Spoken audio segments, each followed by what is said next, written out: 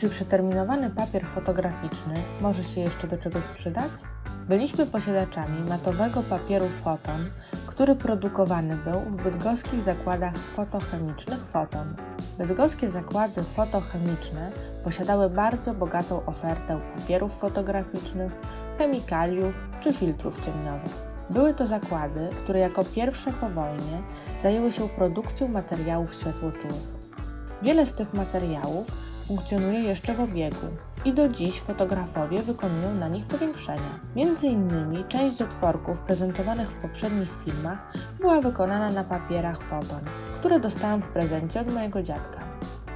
W tym wideo prezentujemy jednak papier, który stracił ważność w 1968 roku.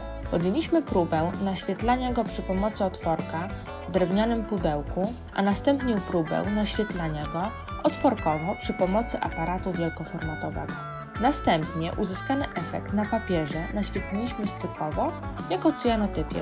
Jest to dowód na to, że będąc w posiadaniu przeterminowanych materiałów światłoczułych, warto szukać dla nich zastosowań twórczych.